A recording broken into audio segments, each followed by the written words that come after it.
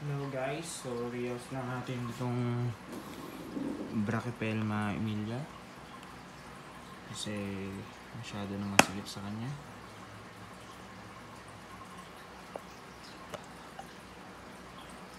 Okay.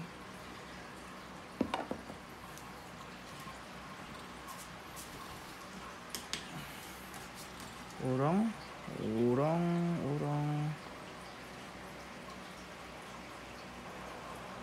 Nakabait nito eh.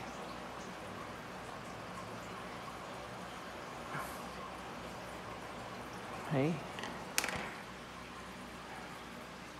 Diyan ka muna.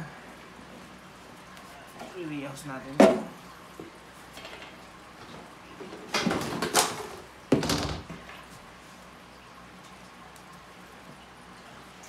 Kuha lang tayo ng lupa natin.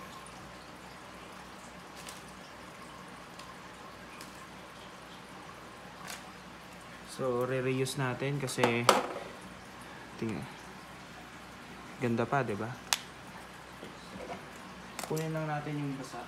Kunin lang natin tong basang part.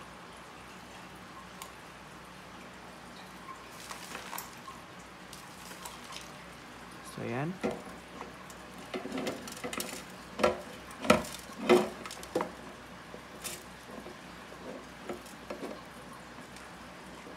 Gamitin natin.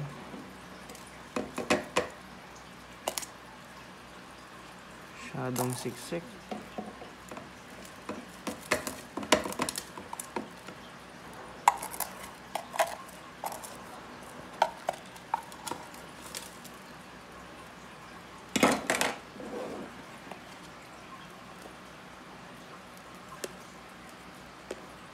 Sakto pala eh, no? Hindi ko na kailangan magdagdag ng lupa. May gagawin tayong height. Tignan natin kung, kung maganda. So, ito gagamitin kong height. Natin. Okay naman, di ba?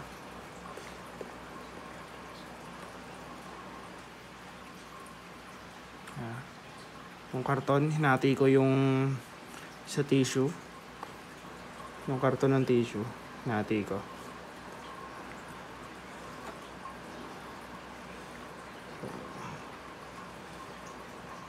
Diba? Okay naman eh. Ganda tignan. So, lagyan natin ng lagyan natin ng mousse. Diyan stick oh. Lagyan natin ng onting-onting detail lang.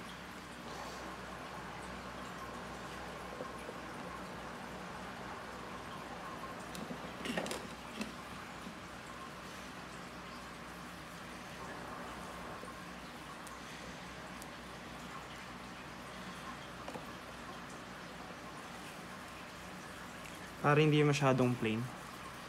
Ganyan ginagawa ko para medyo mukhang naturalistic. Medyo lang. So, wala pa tayong magandang water dish eh. So, pwede na siguro to. Pag nagbukas na yung tindahan, after lockdown, kapalitan natin yan ng water dish.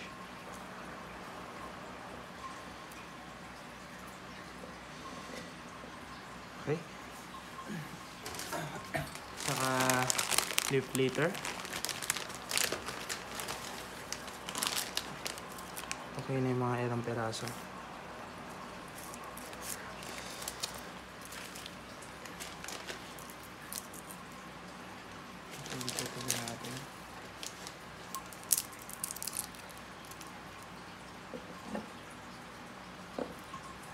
Tapos, dagdag pang detail. Mga bato. Pebbles. Para hindi masyadong plain yung lupa natin. Tignan.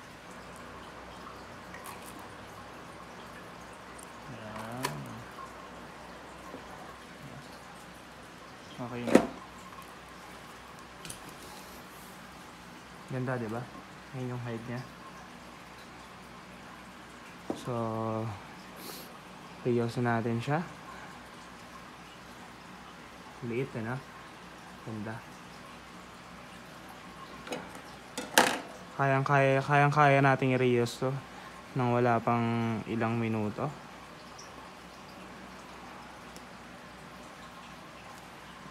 Lipat ko para mas maganda yung view. So, nai-stress na siya, nakatiklop.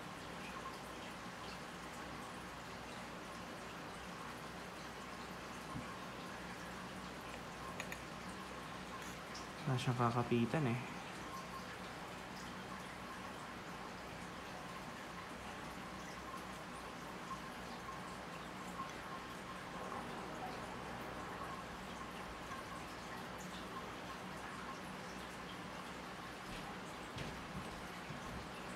Pumasok.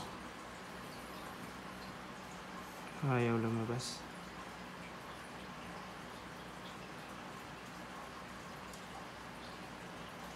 Ikot nyo ng ganyan. Kung saan siya nakaharap. Nasa baba siya, di ba? Sa kanya siya ipupuk. Palabas. Ah. Simpleng-simple lang. Lagyan natin ng springtails. Clean up proof. Wait lang.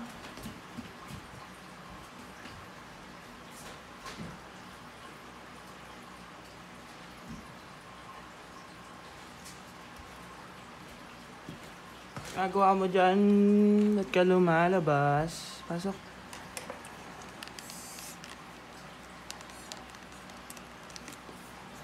Ay, nako. Pangit yung spray. Nadudumihan yung gilid natin. So, ito yung springtails ko. Yung puti na yan, maliliit na puti na yan, yan yung pagkain nila, bigas.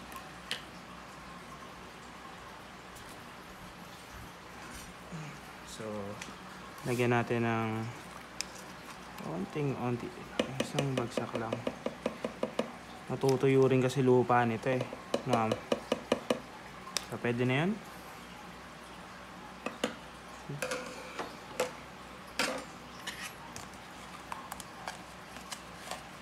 ganda diba so nasa na yung takip.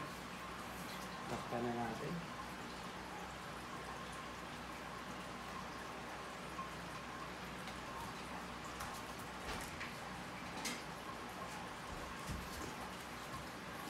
Puro kaunti boy. Kaunti lang. Baka masagi ka.